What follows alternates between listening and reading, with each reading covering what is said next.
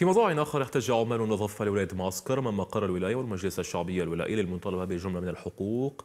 أبرزها الحق في السكن الذي تم إقصائهم منه رغم أجورهم الزهيدة التي تقارب 24 ألف دينار.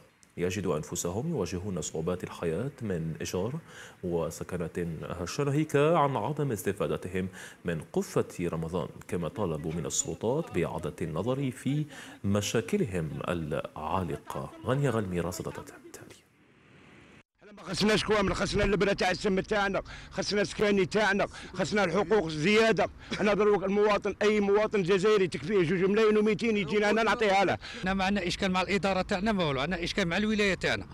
إحنا عمل عو- عوان نظافه نخدموا الاساس الراتب تاعنا 22 23 24 إحنا قصينا من ساكن إحنا خدمتنا ربي شهد علينا. ما نزيدوش نهضروا.